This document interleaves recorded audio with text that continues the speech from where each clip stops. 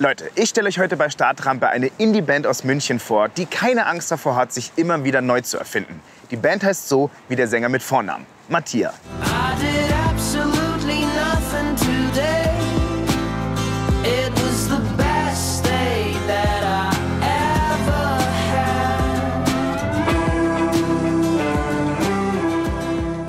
Ihr könnt gespannt sein, denn ich erfülle der Band heute einen Traum. Und diese Aktion hat mit dem wunderschönen Gebäude hinter mir zu tun. Die Band sind Matt, Jan und Sami. Mattia gibt es schon seit 2011, also fast schon zehn Jahre. Aber in dieser Zeit hat sich wahnsinnig viel getan. Erstmal, Mattia hieß früher ganz anders, nämlich The Capitals. Und damals waren sie noch zu viert.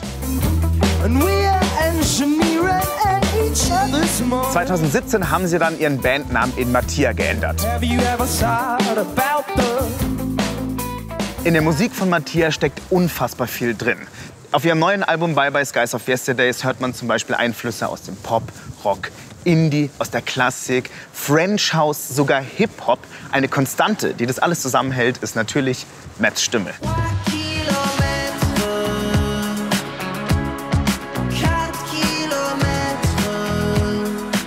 Als Vorbilder nennen Mattia Bands wie The Mars Volta und Radiohead. Hier wird experimentiert, ausprobiert, kaputt gehauen und wieder zusammengepuzzelt. Langweilig wird's da nie.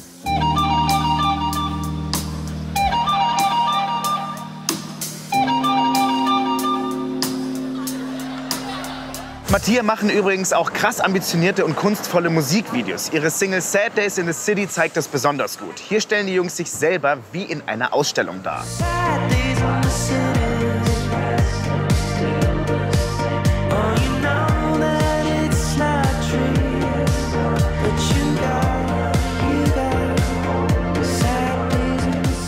Ihr merkt schon, Mattia haben Bock auf große Kunst. Und da kommt das wunderschöne Museum Brandhorst in München ins Spiel. Die Jungs wollten nämlich schon immer eine Live-Session in diesem Museum spielen. Und zwar in einem Raum, der eigens für den großen amerikanischen Künstler Cy Twombly erschaffen wurde. Praktisch Kunst-Overload, aber in geil. So what, what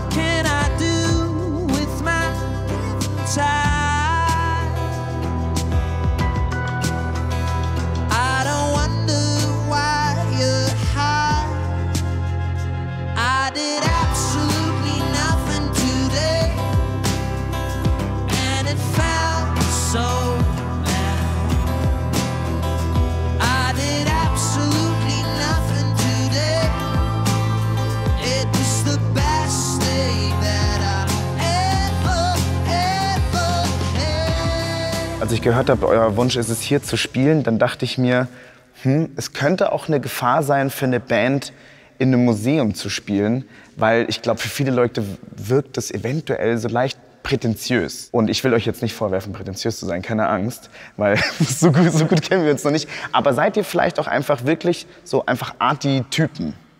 Na, wir sind, wir sind keine Arty-Typen. Wir beschäftigen uns einfach sehr, sehr viel mit Kunst. Und wir, wir hören Musik, wir schauen uns unglaublich gern Filme an, wir lesen gerne Bücher, wir schauen. Äh, das beeinflusst uns einfach und ist ein großer Bestandteil von unserem Leben. Und ähm, für uns ist es einfach eine unfassbare Ehre und wahnsinnig große Freude, eben an einem Ort Musik machen zu dürfen, wo jemand von einem äh, Ausmaß wie Cy Twombly einfach großartige Dinge hier an die Wand äh, hängen durfte. Und, ähm, aber es hat nicht damit zu tun, dass wir Arty-Typen sind. Oder so. Wir haben einfach Freude daran und es macht uns Spaß und begleitet uns schon sehr lange in unserem Leben.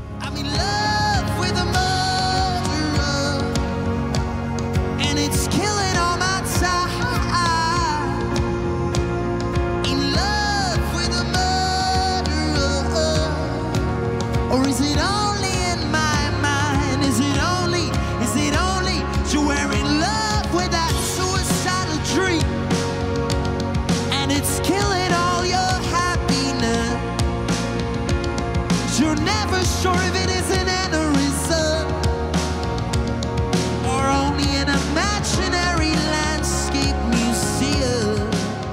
Bei euch hört man und liest man ganz oft diesen Satz, den kennt ihr bestimmt sehr gut. Kommt aus München, klingt aber nicht nach München, klingt international. Wie steht denn ihr dazu, zu dieser ganzen München-International-Debatte? Also einerseits kommen wir einfach aus München und zweitens hören wir auch einfach internationale Musik und es ist eigentlich im Prinzip ganz einfach. Aber ich glaube, es ist besser geworden. Also es war schon so am Anfang, dass man versucht hat, das irgendwie auch ein bisschen so zu verheimlichen. Ich glaube, wir haben sogar ganz am Anfang auf unser Facebook-Profil geschrieben, dass wir aus Hamburg kommen, weil da unser Label ist. Also, Habt ihr wirklich? Uh, ich als Münchner, uh, aber ja, Nee, okay, aber, aber egal. wir stehen inzwischen voll dazu eigentlich. Findet ihr, es gibt einen Zusammenhalt? Wie, habt ihr da irgendwie so ein paar auch befreundete KünstlerInnen und Auf jeden Bands? Fall. ich habe Ja. das Gefühl auch, es ist besser geworden. Also es war vor fünf oder zehn Jahren, war das noch mehr, habe ich es feindseliger empfunden. Und jetzt ist es eigentlich echt voll so das Zusammen, irgendwie, also, dass man sich da gegenseitig auch pusht, irgendwie gegenseitig dann auch erwähnt in Instagram und auch die Musik hört voneinander. Also ich weiß nicht, das habe ich früher nicht gemacht. Ich habe vor ganz langer Zeit einfach keine Münchner Bands gehört, aber inzwischen ist es eigentlich voll in meiner Liste. Generell bayerische Bands, da gibt es echt sehr, sehr viele sehr gute Acts inzwischen.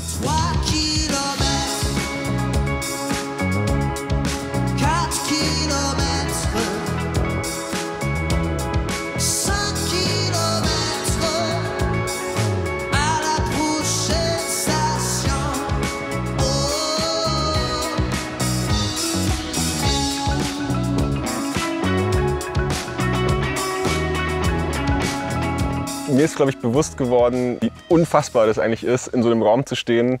Also jetzt abgesehen vom Geldwert der ganzen äh, Gemälde, die da hängen, ähm, einfach in einem Raum zu sein, wo so weltgeschichtlich bedeutsame Kunst hängt und man darf davor seine Musik einfach so spielen, Ja. so als Ja. junge Münchner Band.